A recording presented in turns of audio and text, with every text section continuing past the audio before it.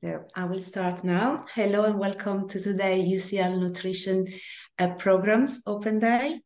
Thank you very much for joining us. My name is Emiliana Di Donna. I'm the event officer for the Faculty of Medical Sciences and I will be your chair for today's session. We hope this session will address those course-specific questions you might have, and we help you to gain an insight into what it's really like to study on one of our four master's programs. This session is being recorded and will be made available on our website following the event. So I'm delighted to welcome today's speakers, Prof. Nathan Davies, Dr. Effie Papada, Dr. Natasha Kalea, and Dr. Erika Cini. So our panelists will present each of our um, Master Nutrition course and will answer to your question during the Q&A session. So please use the Q&A function to add your question. If your question is to a specific member of our panel, please indicate it in your question. But before we hand it over to Nathan, I just want to share a quick poll. So if you can just let us know which course you are interested in applying for. The options are clinical and public health nutrition, dietetics, obesity and clinical nutrition, eating disorder and clinical nutrition. If you're not sure yet, just select not sure. So I will share the poll just now.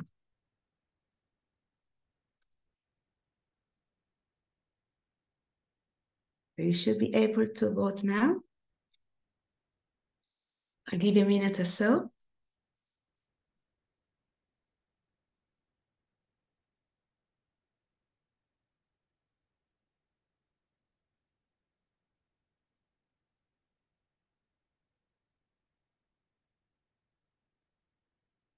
Okay.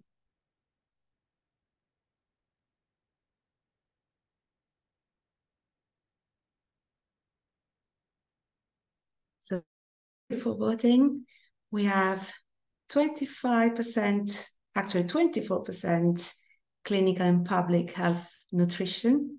52% of you are interested in dietetics. 8% is um, interested in obesity and clinical nutrition, 16% in eating disorders and clinical nutrition. I will end the poll now and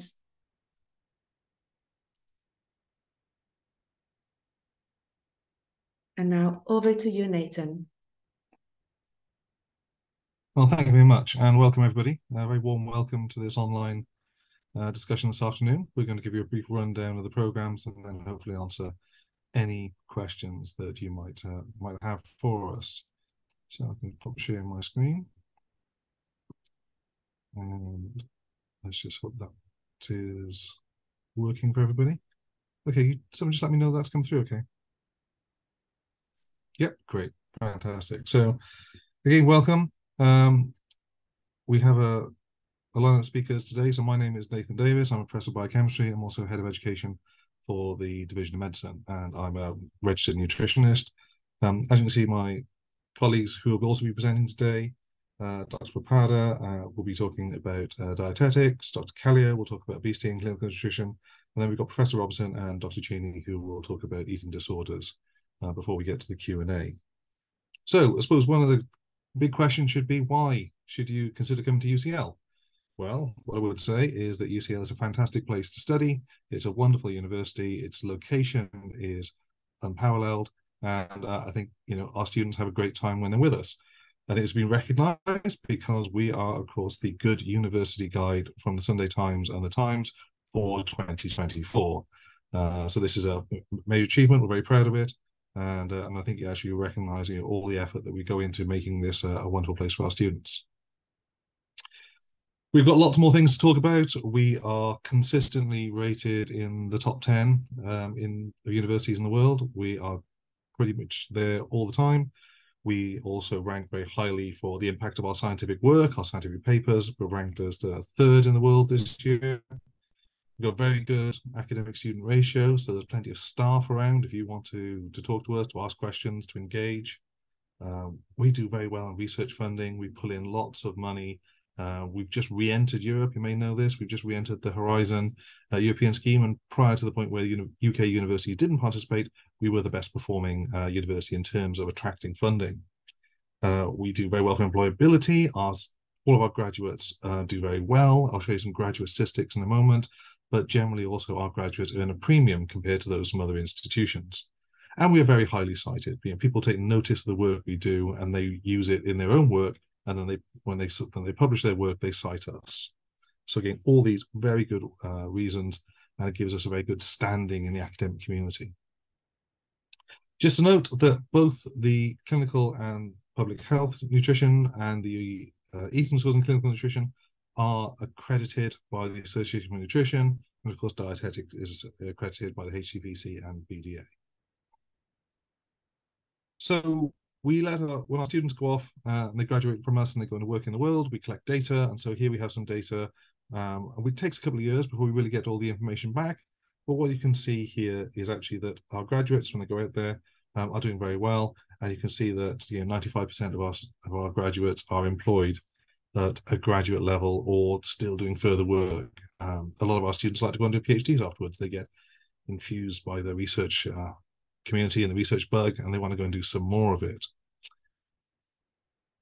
We also look where our graduates go, and again, you can see most of them are still working in the sort of healthcare area, or at least the healthcare research area. Um, most of them doing highly skilled work or very, very highly skilled research um, to continue their academic career. So why why study clinical and public health nutrition? For those of you interested in this course, particularly, I'll show I'll cover some general things about the course um, that would be of interest to everybody else, but we'll focus a little bit on clinical and public health for the moment. So the first thing is that this is you know a very good program for an overview of clinical nutrition and also public health nutrition. We look at what's important all the way through the life cycle, right? And we consider what happens in health, what happens in disease, and how malnutrition has a massive impact on the health of our community. There's lots of different reasons why these things occur. We take a, you know a very in-depth look at a lot of them and you know these are things that've got global impact. So it's not just you know what's happening in developing countries but it happens in you know first world countries and in, every, in pretty much every country around the world. And we give some consideration to this. And i would say that you know the community of researchers that are teaching on our programs our clinical colleagues and the research colleagues that we bring in to do our teaching are all world leading. You know they are we have got a reputation for being world leaders in nutrition, obesity, child health, epidemiology, psychology of disordered eating. And all of these people, some of our my colleagues who will talk to you today, again, are acknowledged world experts in these fields. And we bring in lots more people besides. One thing to say, not a food science course. So if you want to know about, you know, tastier breakfast cereal, nicer sandwiches, that type of thing, there are, lo- there are lots and lots of excellent programs out there, but this is not one of those. This is about the science of nutrition, what happens in the body, and how improving your nutrition can make a massive uh, difference in your life. So why nutrition at all? That might be a question that you've considered. Everyone's got to eat because that makes everybody an expert on the subject and everyone's got an opinion. Unfortunately, most of those opinions are not correct. But it is true to say that what you eat will have a greater impact on you and on your health than anything else you do. What your diet means is that the impact it has on you affects how you grow, how you develop, whether or not you're going to become sick, and quite often your lifespan.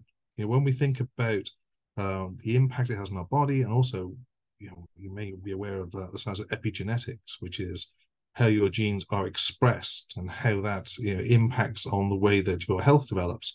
Well, the thing that has the greatest impact on the way that your genes are expressed in your body is your diet. So there's a direct relationship between what you eat and your long term health.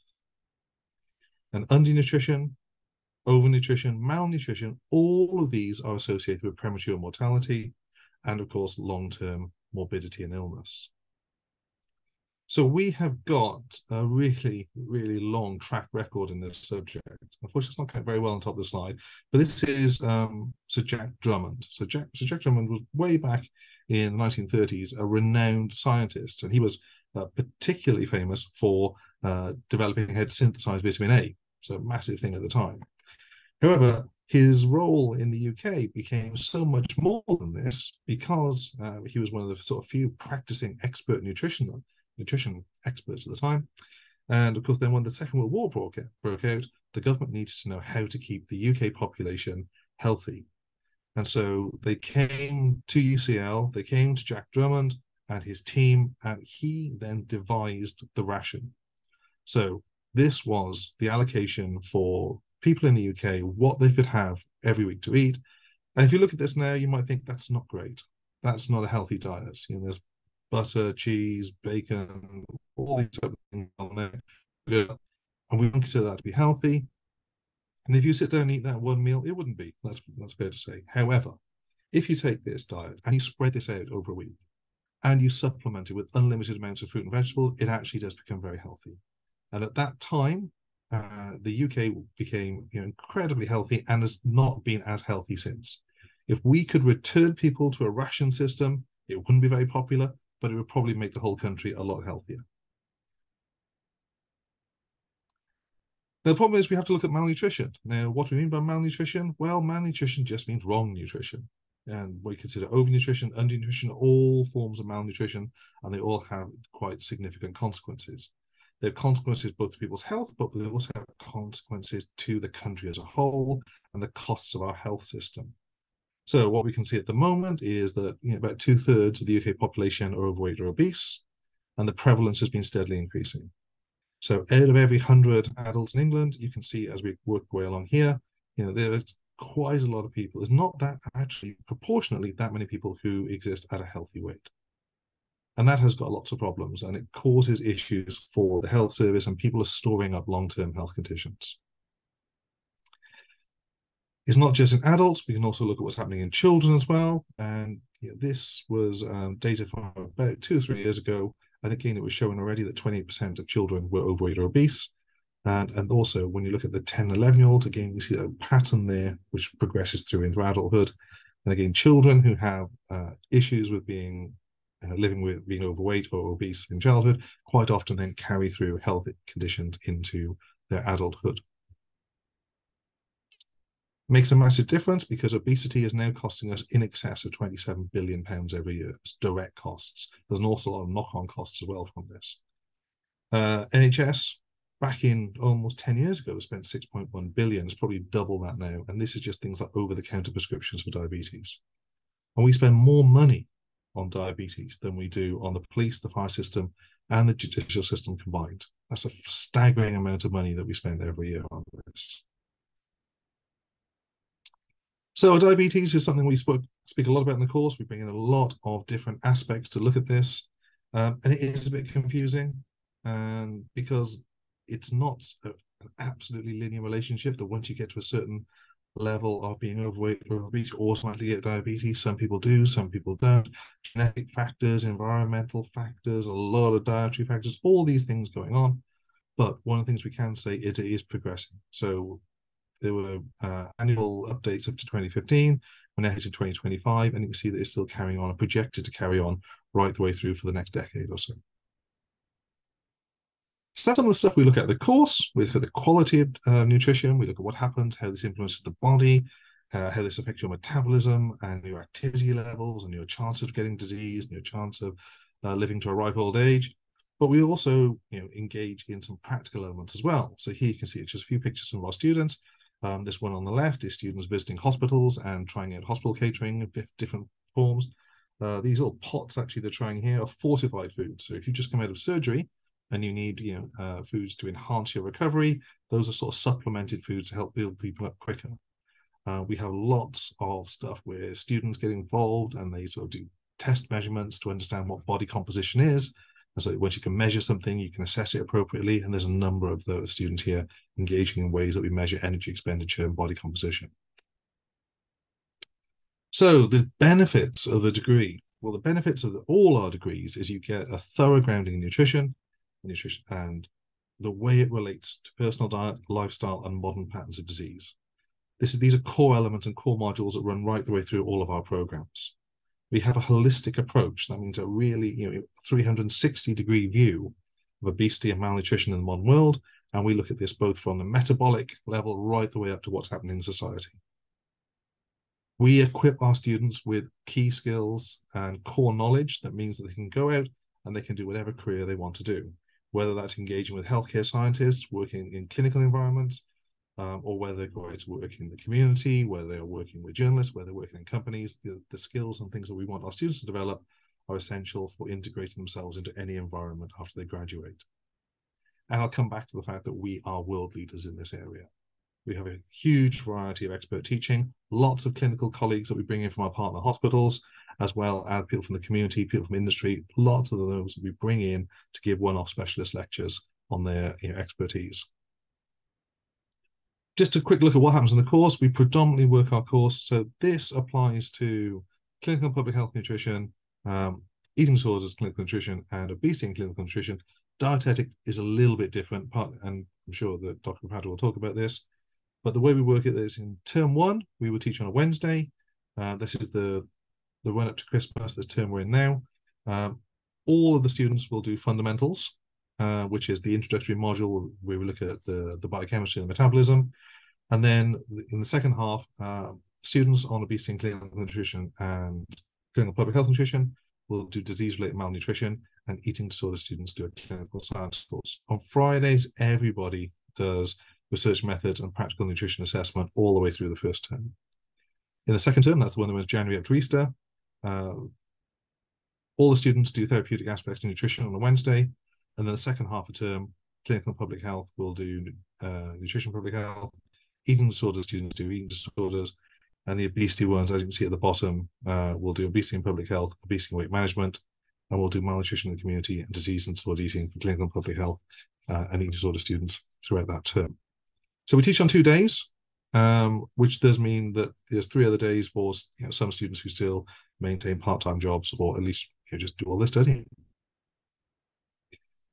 Once we get to Easter, everybody does dissertation, and we offer a huge variety of dissertations. We have done dissertations of students going all over the world, uh, all over London. We have students working uh, within our research teams. They work in our laboratories. They work in our partner hospitals. In fact, I don't think you know we we've had a student come in with a particular idea that we haven't been able to accommodate in some way. Uh, and bearing in mind, you know, these programs will take excess of 100 students every year, so we're offering you know, well in excess of 100 projects every year. And a lot of our students work in our partner hospitals. I mentioned earlier on. I've just got some of them on the screen here. Um, UCLH, again, is a massive teaching hospital in central London near Euston Station. The Royal Free is another large teaching hospital in Hampstead. Great Ormond Street Hospital for Sick Children, which is there, again, one of our specialist centres uh, and just one of the others, the Eastman Dental Hospital, which is located very close by to UCL, and they do you know, lots of sort of specialist work there. How do we teach? Well, we do an awful lot of uh, different teaching approaches. We have flipped work, uh, a lot of online sessions. We do problem-based learning, workshops, peer instruction. A lot of case studies are involved in what we how we teach. Uh, we do there's coursework involved in every module, but there are exams as well. The research projects are major uh, factor of the course and all these other things that we're talking about. And of course, we do have quite a lot of lectures. Right, so I'm going to stop there because I think my time's up, and I'm going to hand over to uh, Dr. Papada, I believe, next. So I'll stop sharing my screen, and Thank we'll come back later on if anyone's got any questions.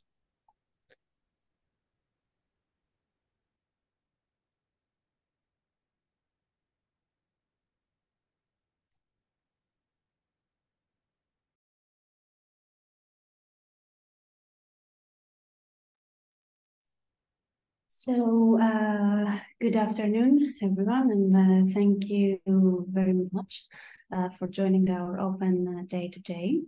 Uh, it is our pleasure uh, to talk to you about our MSc Dietetics pre-registration program. Um, my name is Efstathia Papada, and I'm a registered dietitian and a lecturer in nutrition at the Division of Medicine, and I'm also one of the program co-leads for the MSc Dietetics.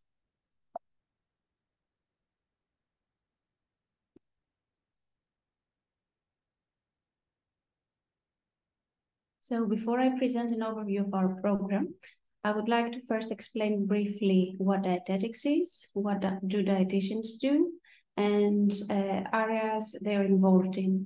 So according to the British Dietetic Association, dietetics is the science around how nutrition affects our health, and it seems that its importance is increasing during the last decades.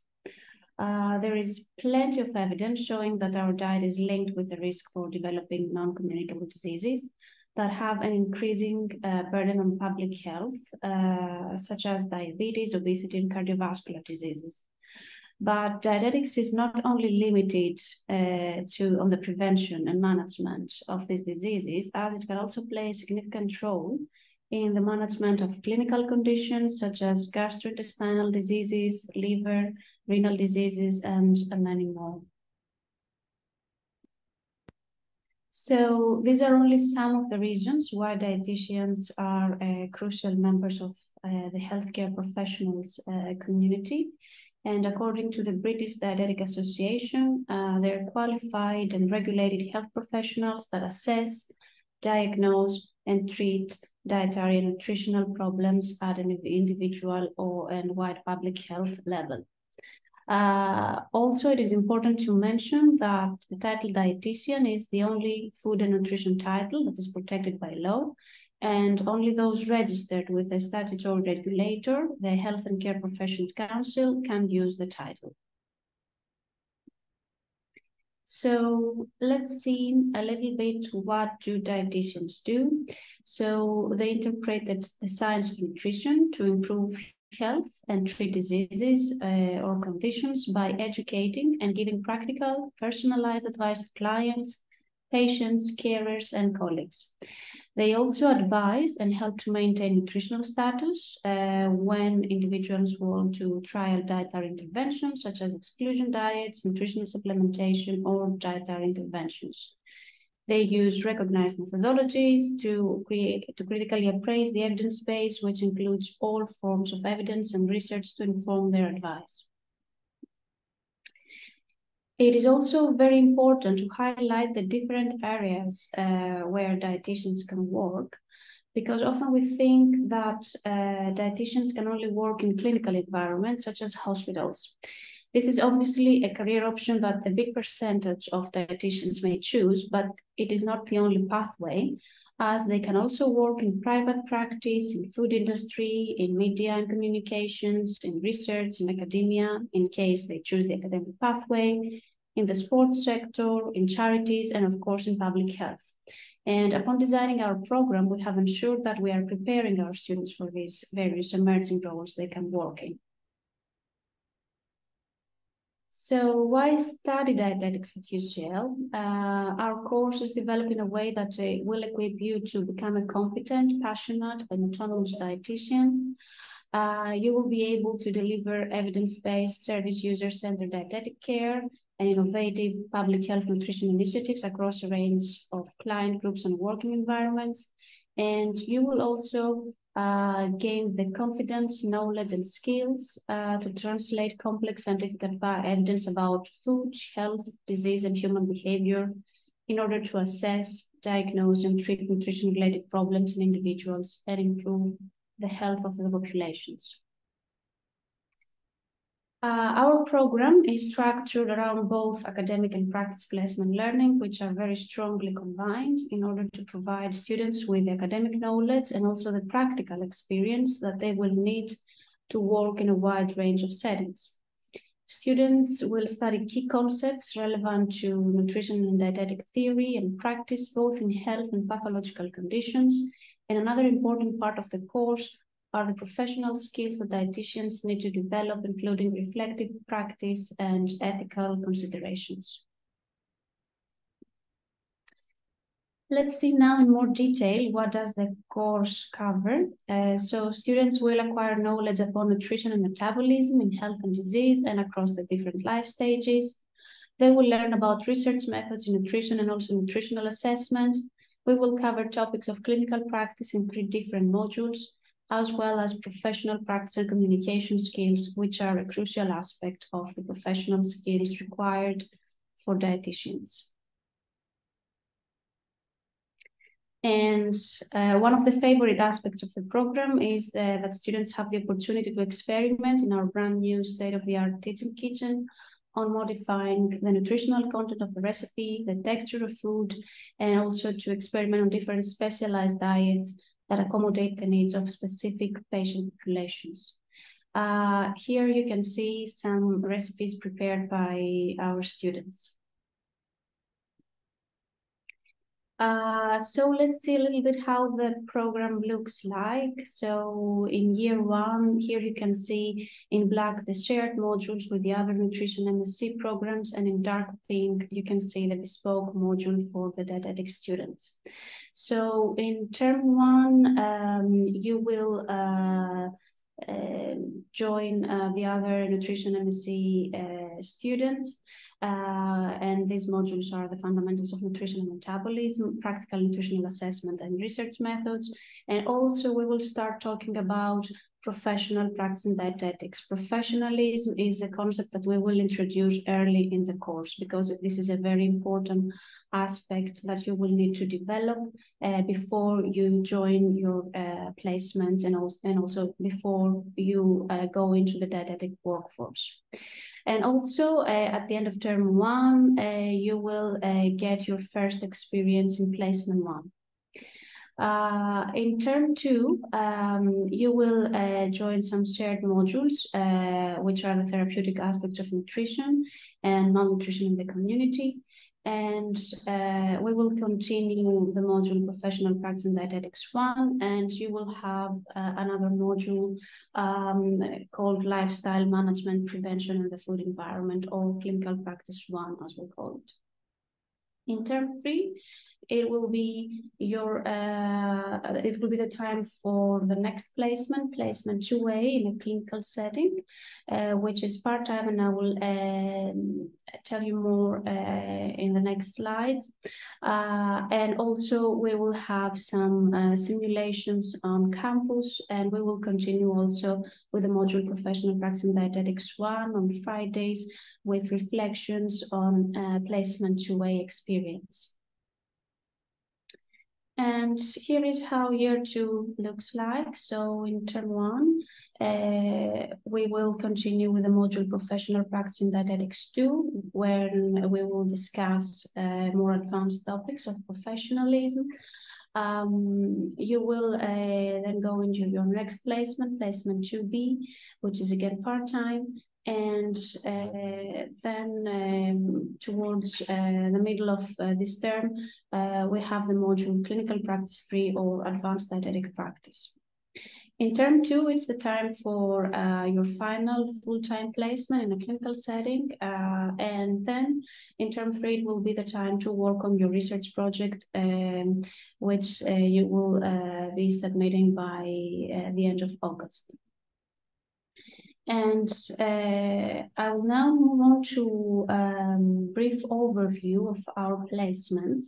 And uh, we have managed to uh, set up four different placements within this two-year program. And uh, one uh, very important aspect that we introduced in uh, those placements is the non-clinical placement. Uh, which uh, we think that will prepare the students uh, for the various roles that um, they can work in after graduation.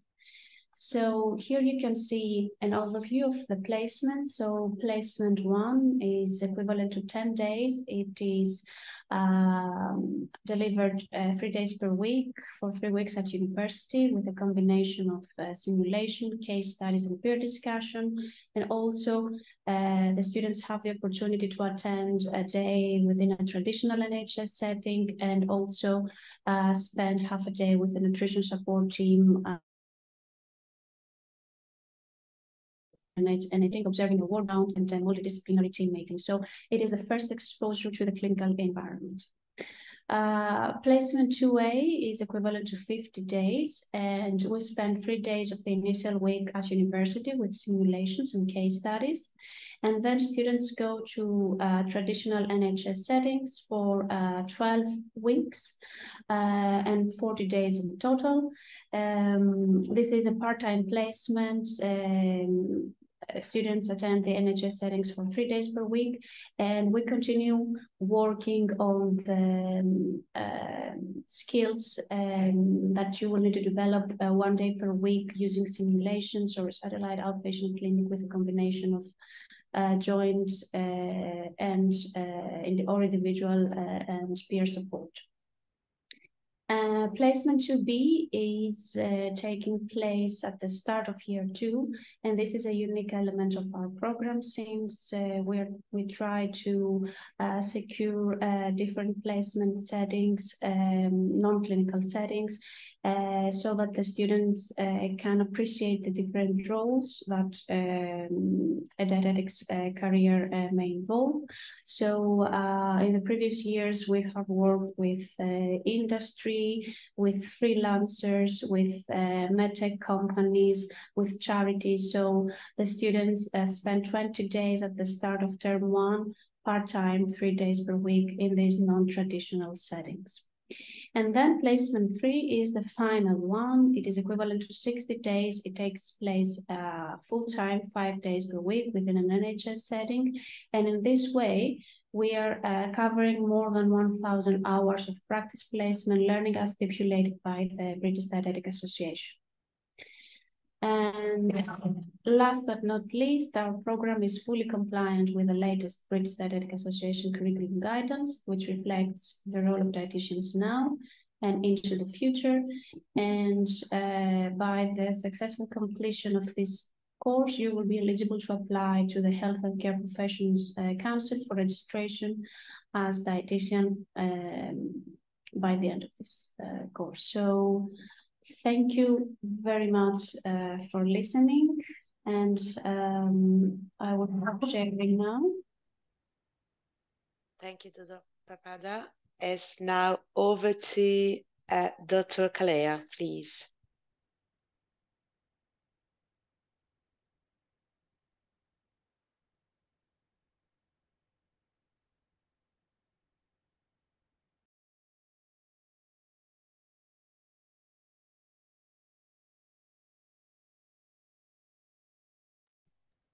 Give me one minute to share.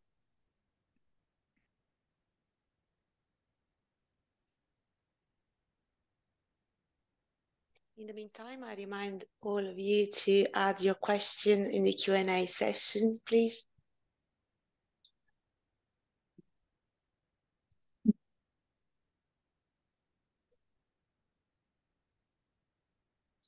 Let me know when you see the screen.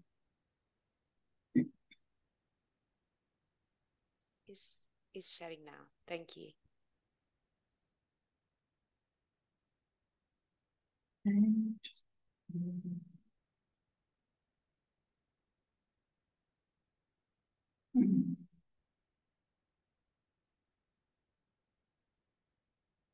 Can you see me well? All fine, thank you. Yes. Thank you. Um, Okay, so next I will talk to you about uh, the MSc in Obesity and Clinical Nutrition. Uh, my name is uh, Dr. Anastasia Kalea, and I'm an associate professor in teaching and the academic program director for this MSc. Um, and we designed a full MSc program, a full postgraduate program about obesity as it is a disease that um, affects a lot of people. It's around uh, 1.25 million people living with obesity and overweight in the UK. Um, and um, uh, over half of the adults in the UK are um, living with, um, with uh, complications and, and this uh, obesity as a disease. So understanding diet, nutrition, and its wider impact on health is essential. And what our program offers is specialized training in the clinical and scientific basis of overnutrition and obesity. And we also uh, discuss about public health measures and therapeutic approaches. Um, uh, so we'll look both at prevention and treatment. And um, no other university is able to offer such a wide range of high caliber partners and experts in this area both scientific and clinical um, in the field of obesity. So our students have the opportunity to be involved with some of these partners, and that's the UCLH Bariatric Center for Weight Management and Metabolic uh, Surgery, the NIHR Obesity Policy Research Unit, the Institute of Epidemiology and Healthcare. So um, many different um, uh, scientists uh, that do work in different directions in the area of obesity. Um, one important barrier that currently impedes optimal care delivery to patients living with obesity is weight bias and stigma. And therefore, our program has been developed to teach future healthcare professionals about that um, unrecognized transmission of attitudes and beliefs relevant to patient care. Uh, so we do have lots of teachings embedded, but lots of uh, experiential learning around professional values and clinical training, but also um, uh, our goal is to change the narrative around obesity and the way we perceive that kind of uh, clinical condition. Therefore, um, uh, you will be exposed to that kind of training. And we do believe that this affects the quality of clinical management of this uh, chronic disease. And our goal is to train uh, healthcare professionals um, in this. Um, obesity, I don't need to show you too many facts to convince you that um, obesity trends are uh, are going really um, have tripled since the, the 70s. Um, it affects lots of people living in this country, but also worldwide with the disease and its complications. And most of the world's population uh, live in countries where overweight and obesity kills more people than underweight. So we do focus lots about the um, the reasons for this uh, high prevalence, uh, the trend data, the epidemiological evidence linking obesity with a range of physical and uh, uh, psychosocial health conditions. Um, obesity is considered a public health crisis that impairs the health and quality of life of people, and um, it adds, uh, as you can imagine, considerably to national healthcare budgets. Uh, it does affect, though, the quality of life of people, and this is something we emphasize quite a lot and uh, preventing obesity is urgently required to reverse current trends. um, it seems to affect, as you see here, uh, a publication from the World Obesity, around 1.9 billion adults um, uh, around the world, 650 million are living with obesity. It does affect both, both men and women. In this country, nearly two thirds of adults uh, are uh, living with overweight or living with obesity. And uh, this is as we define obesity and overweight based on BMI cutoffs for populations. And um, in uh, England, the proportion of people that um, uh, our living with obesity has increased from 30.2% in men to 26.9 uh, within um, a couple of decades. So from um, early 90s to um, 2015, 2016. The rate of increase has slowed down since 2001, although this trend is still upwards. And um, the prevalent interesting the prevalence of obesity as you see here in the graph is similar among men, men and women but men are more likely to live with overweight. And the evidence is overwhelming on the association of increased adiposity um, and complications such as insulin resistance, glucose intolerance, diabetes, hypertension, hyperlipidemia, sleep apnea, arthritis, um, gallbladder disease, and certainly uh, a variety of types of cancer. All of these comorbidities associated with that um, uh, increased adiposity. So this is something that we look through the course. We go through the evidence base around um, the associations between uh, increased adiposity and how uh, how that leads to disease. And this image here is from a report produced by the UK government's Foresight program on tackling obesities. Um, this report develops scenarios of the future to explore how the UK could respond to rising levels of obesity. And it's called the Obesity Systems Map. Uh, and it's sometimes derided for its complexity because it shows that what is really key in this uh, area that it has been instrumental in creating a far more balanced perspective about the roles of the individual and the environment. Um, more specifically, it shows that the independent contributions of a poor diet and physical inactivity as drivers of excess weight gain and awareness that some individuals are biologically more susceptible to weight gain. It recognizes that the food environment has a, a significant impact on the personal choices.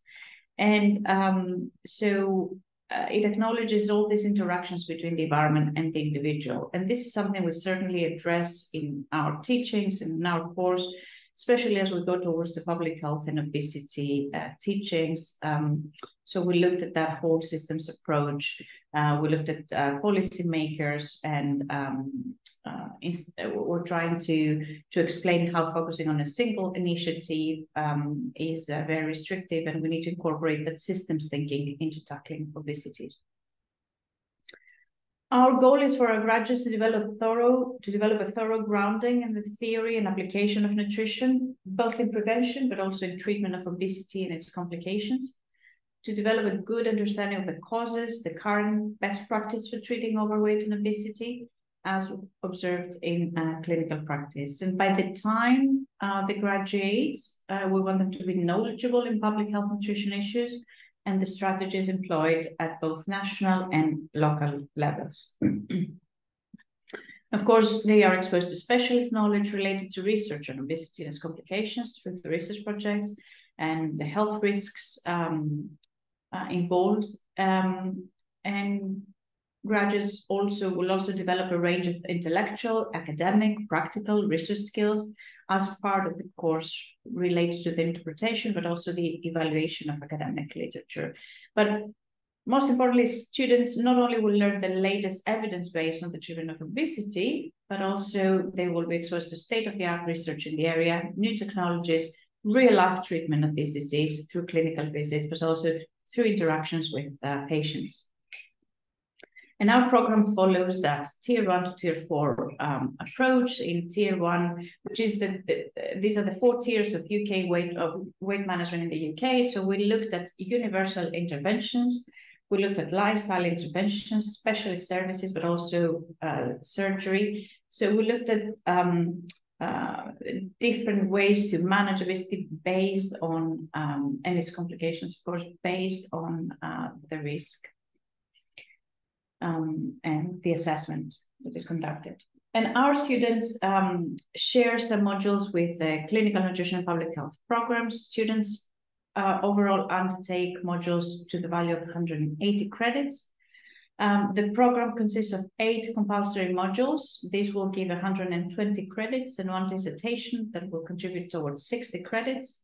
there are no elective or optional modules. And um, there will be um, during term one, um, uh, they will join the clinical nutrition public health students uh, to go through the fundamentals of nutrition and metabolism. And uh, we will start with disease related malnutrition to try to understand the link between inflammation, obesity, and uh, comorbidities and metabolic health.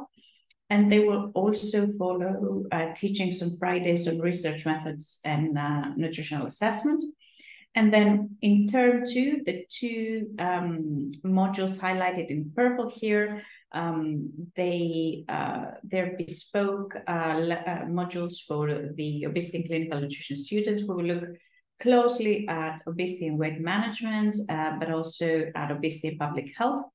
And at the same time, in term two, there will be teaching some therapeutic aspects of nutrition and on disease and disordered eating.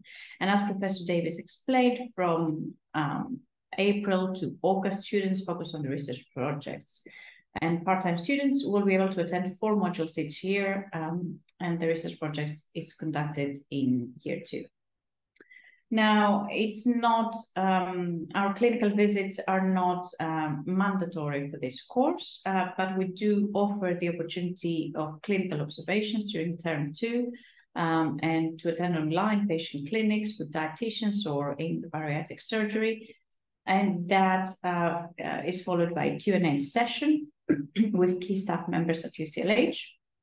uh, which is uh, an, an exciting opportunity for our students. And uh, the other exciting part is the involvement in uh, research projects, um, not only in definitely in obesity, but also in um, um, comorbidities, in uh, interacting with patient groups that um, um, and interesting research projects that take place um, every year. and there's a great variety of them. Now, as I said, uh, quite a lot of us at UCL uh, that are teaching on the course are very uh, sensitive about reducing weight stigma in healthcare in order to improve um, practice.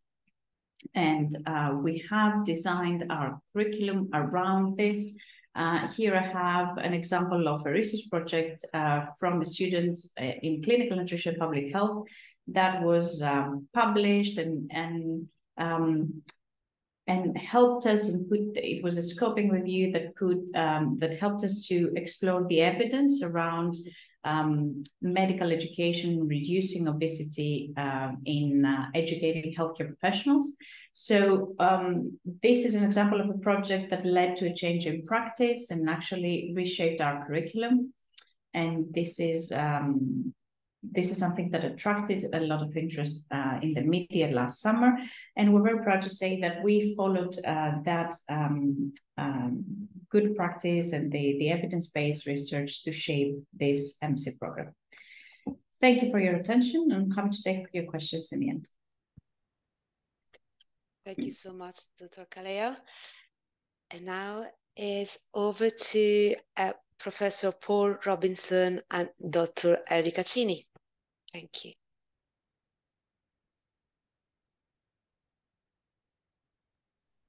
All right, so uh, I can see you've you've shared your screen, Erica. That's great. So uh, when I uh, when I say next slide, you can move on to the next slide if that's okay. Okay, so move on a bit. Keep going. Yes. Okay. So I'm uh, I'm Paul Robinson. Um, I'm a, a, professor at UCL, and um, in um, uh, 2012, I oh, it's gone. Is that right? What's happened? Oh, it's back again. Good. Um, I started the MSc in uh, eating disorders and clinical nutrition. Um, I'm a um, psychiatrist, and um, I was concerned, and I'm, I work in eating disorders, and I was worried that um, we really didn't um, um, have um, a course which taught people about nutrition and eating disorders at master's level. Uh, and so I came to to UCL, and uh, I spoke to Professor George Grimble and Professor Alistair Forbes, who were both uh, leading the uh, clinical and public health nutrition course at the time, and um, they welcomed me and uh, and and helped me uh, start this start this course. We had two two uh, students in our first first uh, year, uh, and that rapidly increased. So now we have sort of between thirty five and thirty eight students a year. That's probably the most we can manage, um, perhaps a little bit less, in fact. Um, so First of all, something about eating disorders. Uh, for those of you who may not be familiar with them, um, they're, they're very common um, uh, mental health disorders. Uh, they're um, the most common um, uh, chronic disorders in uh, in young women.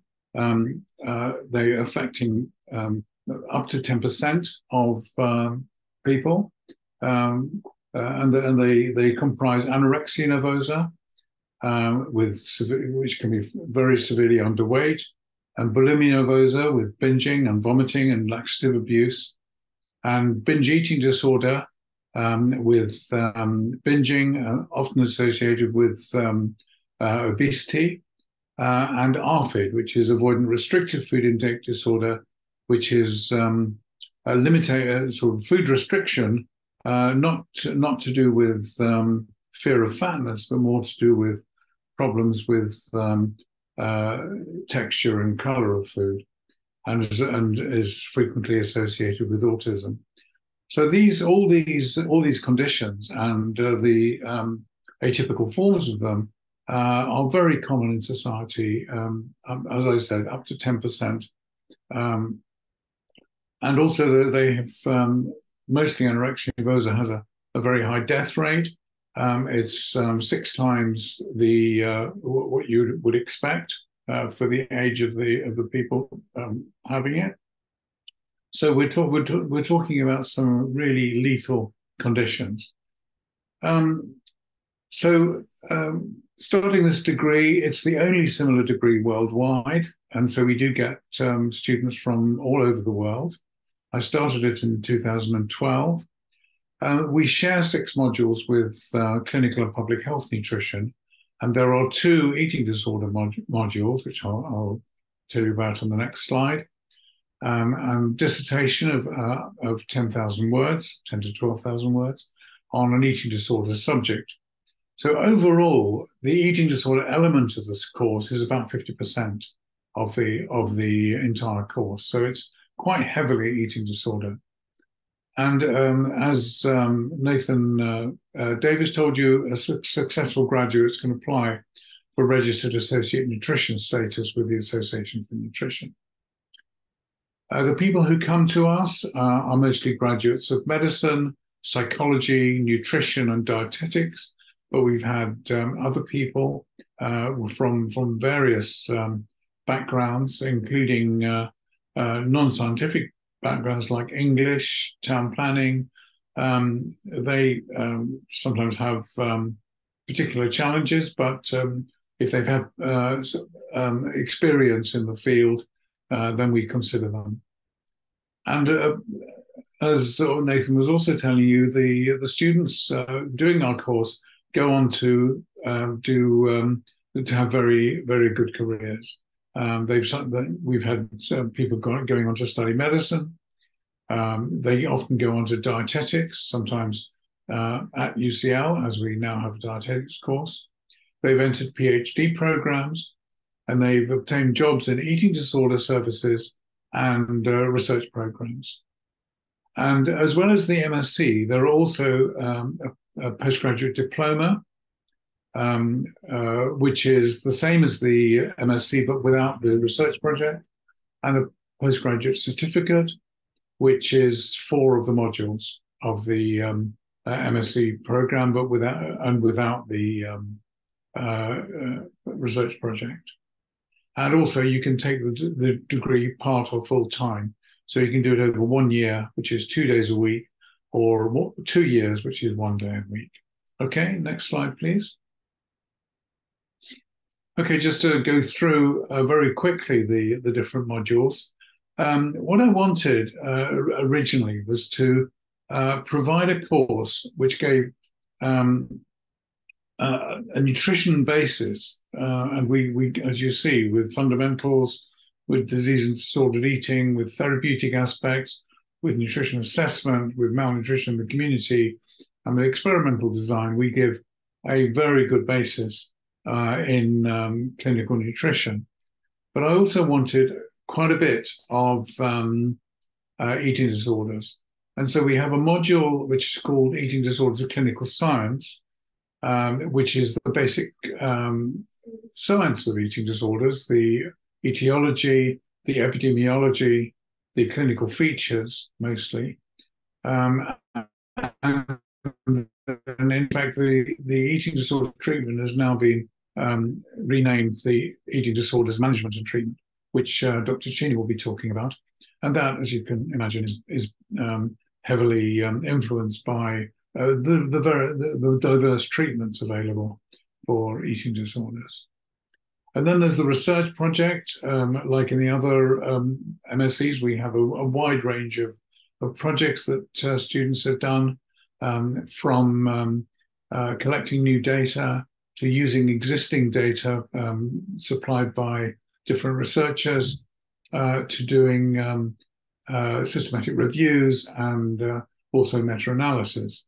So, um, and, and uh, the the other thing that pe people have done which successfully is um, uh, looking at clinical services and, and clinical service evaluation but uh, Dr. Cini will, will, talk more about those. Just to say that um, we've had several papers published by students.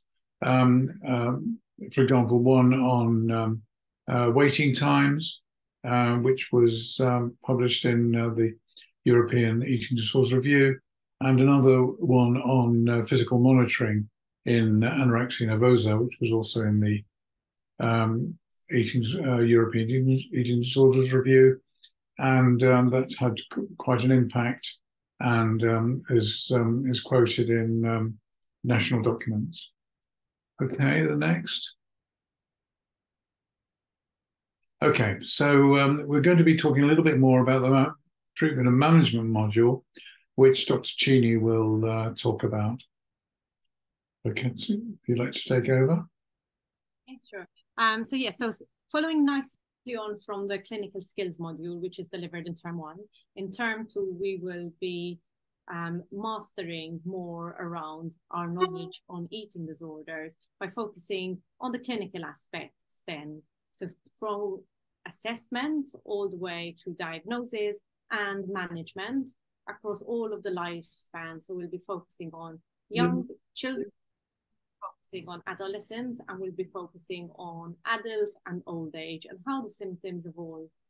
Here are a number of the learning objectives from this module. So it's thinking about being able to identify and describe the eating disorder symptomatology across genders, across um, ethnicities, and in different parts of the world. Being able to explain what an eating disorder assessment involves and being able to understand how this is conducted. We'll be thinking about the different therapeutic modalities across the age span and how this links in with the evidence base and how these are then informed by informed by NICE and other national standards and guidances. As we know, one of the things is what are you going to be doing after this course? As uh, Professor Robinson mentioned, one of the aspects is being involved clinically um, in different roles within either multidisciplinary or multi-agency. And one of the aspects to help you get a better understanding of the clinical roles is we organize a three-day observational clinical placement so that you can get to see what's done on the ground, you can get to speak to different professionals to help think about the next steps in your career if you decide to go down a clinical route and not an academic route, which is the other option in, in an MSc, following on from an MSc. And finally, in this module, you'll also get to appraise the pros and cons of different therapeutic settings so that you'll be able to understand when should, where should the patient be treated.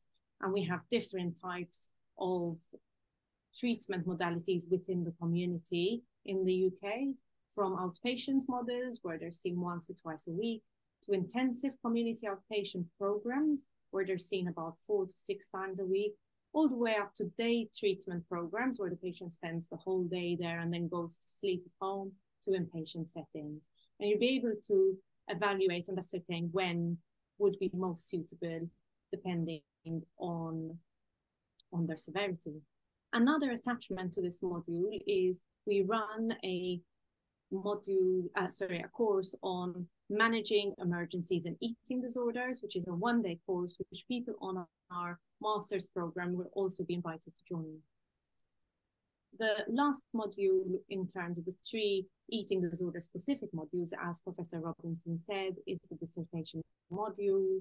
And ultimately, this is also to help you give that breadth of research skills put into practice in an area which you're interested in. And as Professor Robinson said, we offer a range of different types of work that can be done, and a number of those have been presented at various national and international conferences, and some have even gone on to um, full-length article publication. Thank you.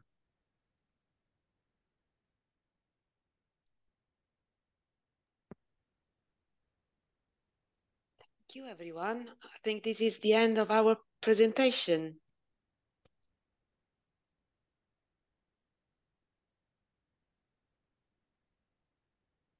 Yes, you're right, it is. so, so we we're happy to to now start the Q&A. Uh, many questions have been already asked and answered, and I can see one question in our one question in our um, inbox that I will read out to you all, uh, and you're free to to take turns in uh, in answering. So, uh, can you serve in the NHS as a nutritionist, dietitian during your masters if you are an international student with a bachelor's degree in nutrition and dietetics? Hmm, uh, partway through typing the answer to that one. Um, no, okay. it's a simple answer. Um, you have to be an UK accredited, and you can only become UK accredited once you have undertaken an accredited program uh, within the UK. So, unfortunately, not. It's uh, it potentially is possible if you have completed a dietetics course overseas you can go through the accreditation procedure, and the UK HCPC does recognise a number of overseas qualifications. Um, I would say it's not a straightforward process, but it is possible.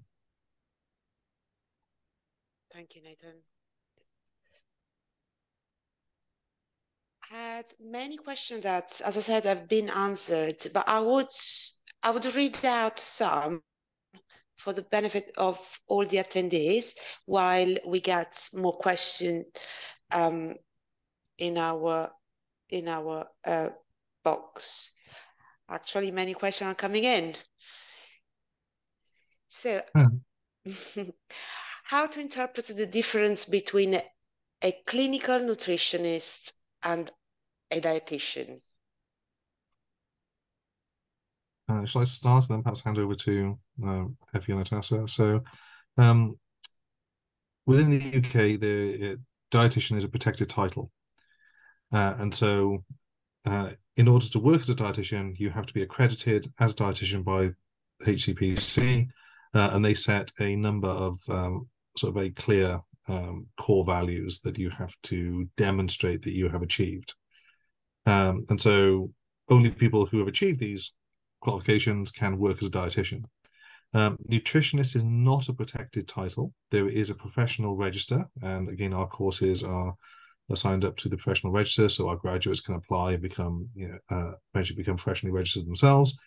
Uh, working with NHS, there's um, there are roles for nutritionists. Uh, these these tend to be more um, public health facing, and it tends to be more about keeping people healthy rather than dealing with the sick. It's more that dietitians work with people who are ill, who've got di- diagnosed existing conditions. Nutritionists tend to work to keep people healthy, although that's a very broad simplification. Um, I don't know anyone else to add to that. Thank you, Nathan. Very clear. And one more question. I graduated in sports science.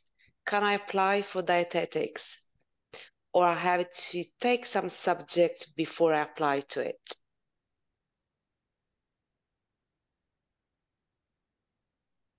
Anyone want to take this question?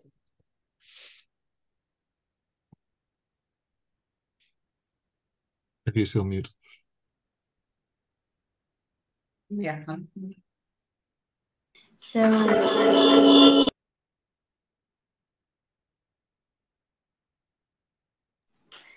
so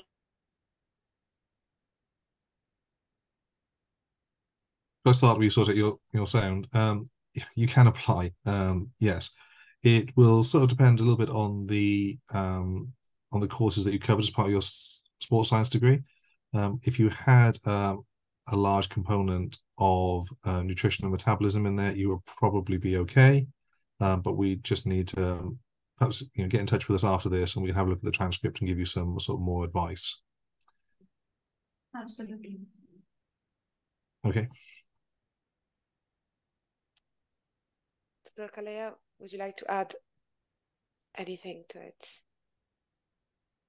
If not, I will go with does another question. The dietetics program include a hospital internship even for the international students? Yes.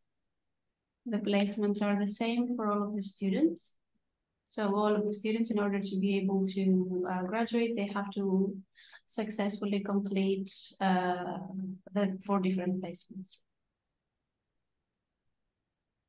Thank um, you. I, I noticed uh, Sophie Sophie's question. Do you, I don't know if it was answered about um, uh, uh, whether she can work in um, as a, uh, as a, as a registered nutritionist after doing the eating disorders and clinical nutrition degree. Shall I um, shall I say something about that? Yes, please.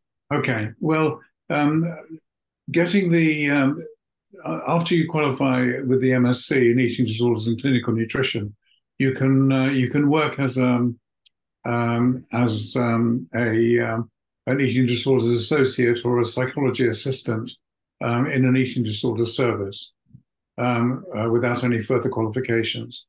Uh, if you do that for a year, then uh, you can apply for full, full uh, associate membership of the Association for Nutrition, and then you can work as an uh, as a nutritionist. Um, however, um, and then but after that, um, uh, I think the most uh, useful thing would be to do a dietetics course, become a, a dietitian, and then you can work in uh, clinical settings such as the, the NHS, in hospital, or in an eating disorder service, or in the private sector. So yes, the answer is yes. You can you can start working right away, uh, but you do need uh, to, to work independently with um, uh, with patients with eating disorders. Uh, you need further uh, qualifications, namely the dietetics is the most common one to do. Thank you. That's very useful. Thank you. Um, there's one more question that has been answered um, now, but I will read out for, for everyone. Is there a hospital internship included in the MSc program in eating disorder and clinical nutrition? Could could Erica um, address this one? Erica is typing an answer right now, um, but if we if we can also tell everyone, Erica would be great.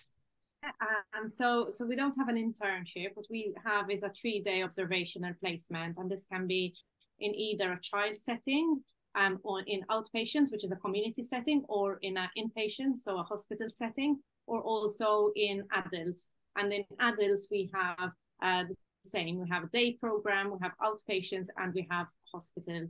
Um, it's just a taster. However, what's what we have seen is that quite a few of our MSc students have successfully been able to get on and been successful in being recruited um, by a number of the placements uh, in one of the roles that um, Professor Robinson mentioned earlier. Thank you, Erika. Mm -hmm. I've also noticed that there were a few questions about admissions. Um, so I've uh, added in the chat for everyone the um, link for um, admissions inquiries.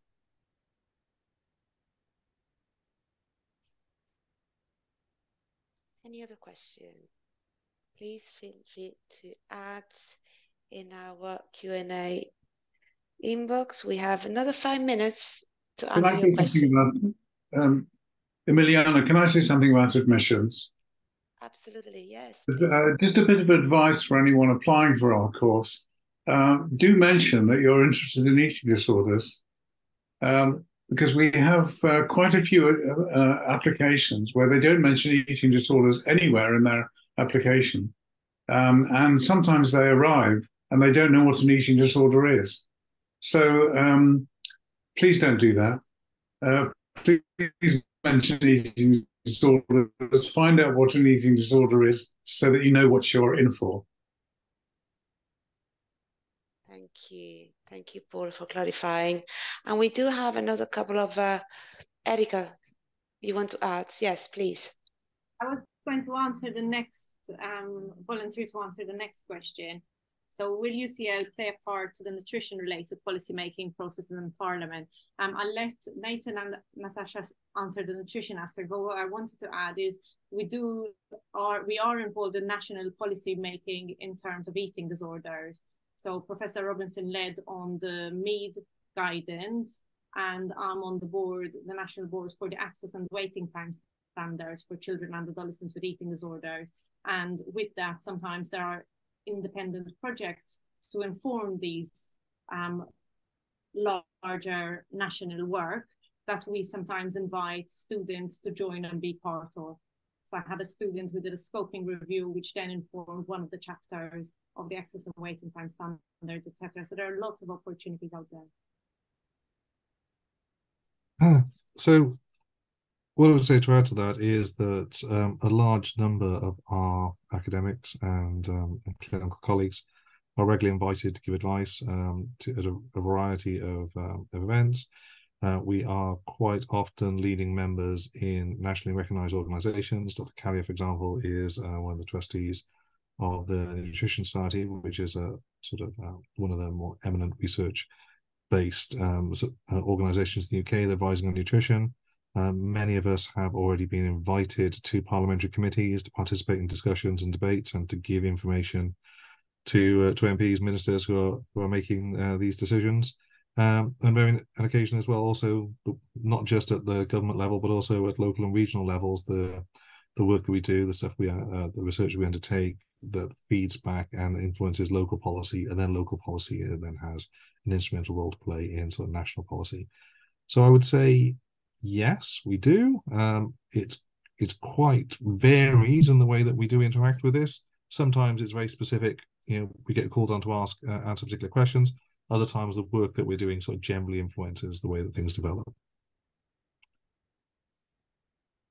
Thank you. okay, there's a couple of dietetic registration questions now. Perhaps uh, uh, Dr. Pad or Dr. Kalea will take those. Yes, so uh, the next I can see is to attain the status of a registered dietitian not licensed, should we take the colloquium exam? I'm not sure what is meant here, but just to mention that uh, by the completion of uh, an accredited program, like ours, you'll be able to um, apply to the HCPC to become a registered dietitian. So there is now no additional exam you need to take if you have completed an, an accredited program in the UK. And then I can see another one. What I mean to ask is can you register yourself a nutritionist dietitian registered during your master's program if you're an international student, like by an exam of RD, or it's necessary to complete education in the UK first? I think we have already answered a similar question. So it depends if you have completed the dietetics program overseas, then you might be eligible to apply to be registered dietitian in the UK. If not, you need to complete a UK-based program to apply for registration. And the next one I think is about eating disorders. Yes, what is the current eating disorder project UCL is undertaking? Um, well, we've got uh, 35 students at the moment. They're all doing different projects, so it would take a while to talk about them all. But um, um, but could could the could the question be a bit more specific? Is there an area they're interested in? Perhaps you could just give a couple of examples of the, the breadth of programs that you're, you're offering this year. Yes, well, we're um, we're doing one pro one. Um, I, I can do that. I can most, mostly talk about the ones I'm supervising. So um, we're doing um, a study of microbiome in anorexia nervosa, salivary microbiome, which is proving very interesting. Um, we're doing um, we're doing a, um, a qualitative study of online and uh, in-person daycare. Um, uh, but I don't want to hog the whole thing. Jerica, uh, Erica, do you want to say a little bit more about uh, the, the interesting projects that are on online? lots of interesting projects, as you're saying. Some of the ones you've just mentioned, we have a lot on a, um, eating disorders and ASD or eating disorders and ADHD, so different comorbidities and their interface. We have some student choices. We have about intensive outpatient program. We have a few research projects on mentalization.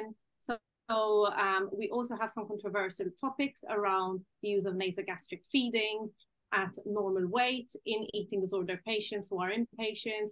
So um, there's another controversial topic around palliative care and eating disorders and different different perspectives on that.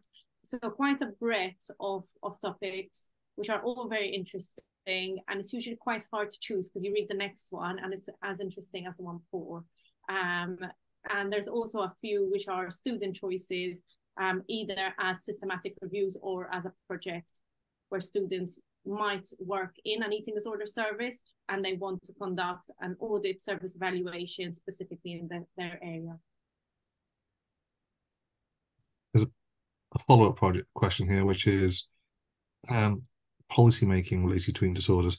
I think, um, as was mentioned earlier, Professor Robinson, uh, with some with colleagues, um, wrote the national guidelines on how to care for patients with anorexia uh, nervosa, and and this is something that's being rolled out both nationally and also internationally as well as the accepted standard in the, the way that you know these patients should be managed, uh, which I think is a you know fairly significant project that uh, that we're all um, you know, I think very proud of Professor Robinson for for authoring. And the other one that we're currently working on is the access and waiting times revision for children and young people. So it's basically the clinical and waiting guidance about how timely and what the services in the UK should be looking like. So that's due to come out early next year. It's currently in consultation process. Mm. Also, just to say, we're, we're working on a policy for patients admitted to intensive care units, um, which is a very highly specific situation where uh, the, the, the most ill patients who uh, sometimes need uh, intubation and uh, and ventilation uh, are are brought into intensive care, and, and you've got to be very careful about um, sedating someone like that who's got a very low BMI and be very uh, vulnerable. Thank you so much. Thank you so much for a brilliant session with a lot of questions. Um, we now reach the end of our session, I'm afraid. So I hope we answer your questions. Um, and we will send out the recording of, of this talk. So thank you again, everyone, the speakers and the attendees for being with us today. Hmm. Thanks, everyone. Bye-bye. Thank, Thank you. you. Good night, everyone. Bye. Bye bye.